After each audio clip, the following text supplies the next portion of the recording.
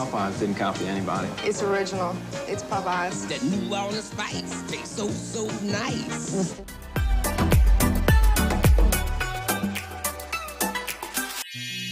It's been a stressful time throughout our nation to the point that people are just looking for any distraction to help them through this difficult times.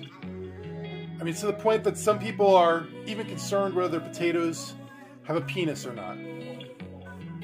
I'm, of course, talking about the difficult time being the Great Chicken Sandwich War.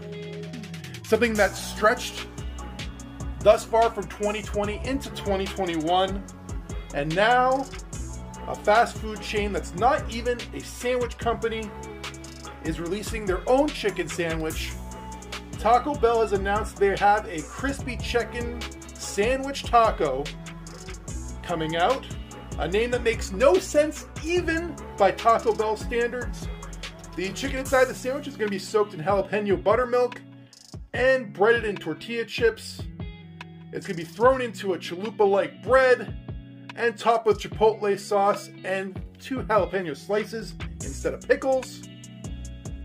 But it, sure, it doesn't look bad. But what's next? Crispy chicken papadilla? Panda Express? Crispy chicken wonton wrap? Whatever it is, I'm sure the focus will likely be just on adding a chicken sandwich to the menu rather than actually trying to make a better item than Popeyes. Because they cynically believe that just having a chicken sandwich on the menu at a restaurant that happens to be slightly closer to you than Popeyes will get them extra money. And they're likely right. But regardless of whoever ends up winning this great chicken sandwich war, make sure to find the yay every day.